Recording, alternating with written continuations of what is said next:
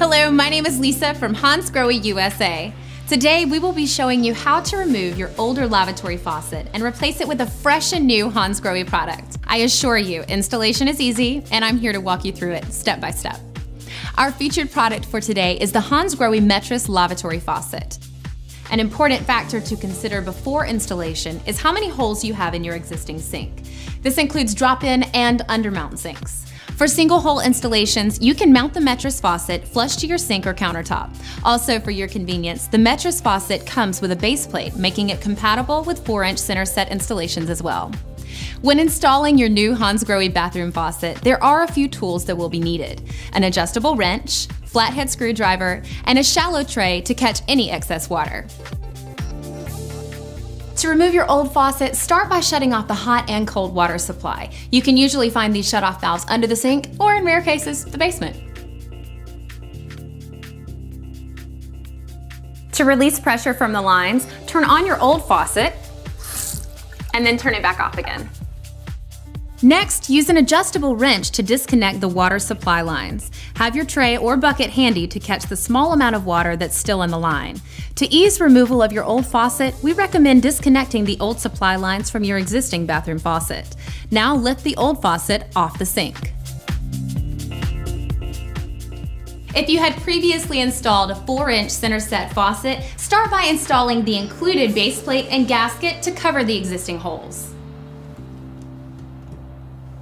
Make sure your base plate is parallel to the backsplash and the front of your sink. Next, take the drain pull rod and slide it into the back of the Metris faucet.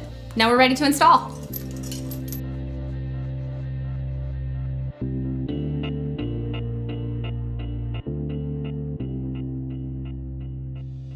Slide the washers and mounting nut up the hose and hand tighten them on the threaded part of the faucet. Once you've tightened the mounting nut and the faucet is firmly in place, take your flathead screwdriver and tighten the tensioning screws connected to the mounting nut. With both mounting screws tightly secured, take your adjustable wrench and tighten each supply hose until snug.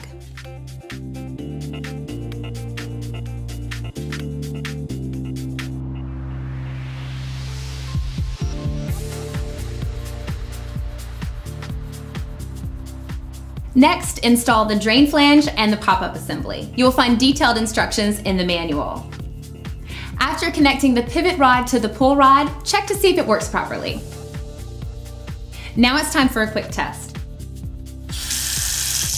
Great, it works. But I should also check for leaks.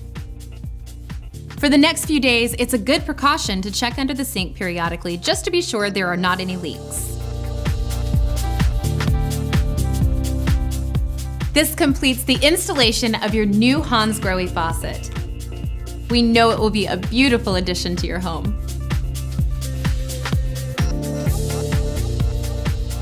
If you have additional questions about your installation or about Hansgrohe products, please visit www.hansgrohe-usa.com or contact our customer service at 1 800 334 0455.